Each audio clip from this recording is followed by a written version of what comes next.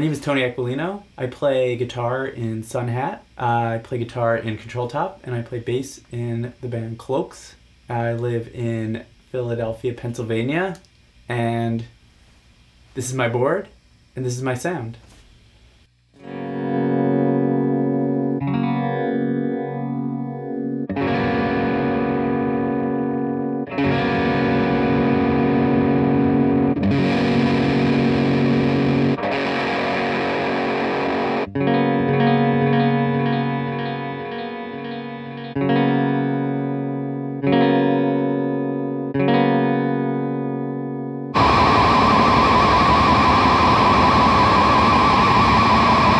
Garbage person, and this is the garbage I've collected.